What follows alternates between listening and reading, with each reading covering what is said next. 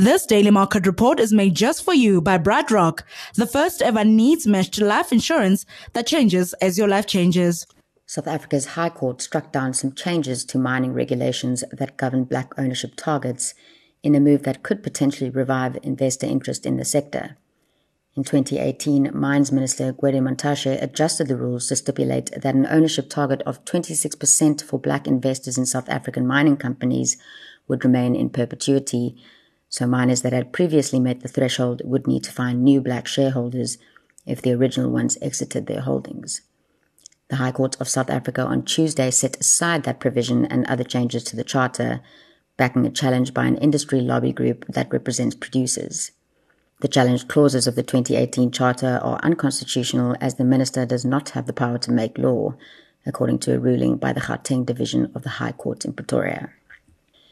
South Africa's appeals court ruled that the Department of Tourism's focus on only black businesses for payouts to help the industry overcome the coronavirus pandemic as unlawful.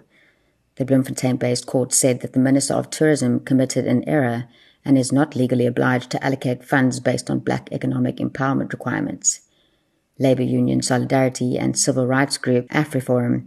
earlier successfully applied for a freeze on the Tourism Equity Fund because it only focused on black businesses. The application by the attorney of Western Cape Judge President John Hlophe to have a judge from a division other than that of Gauteng hear his application to have the decision by the JSC to impeach him set aside was rejected on Wednesday by Deputy Judge President of the Gauteng Division, Roland Sutherland. The presidency has informed the court that it has not received an application from the JSC for Hlophe's suspension, and the JSC has indicated that it will not submit one pending the outcome of the case.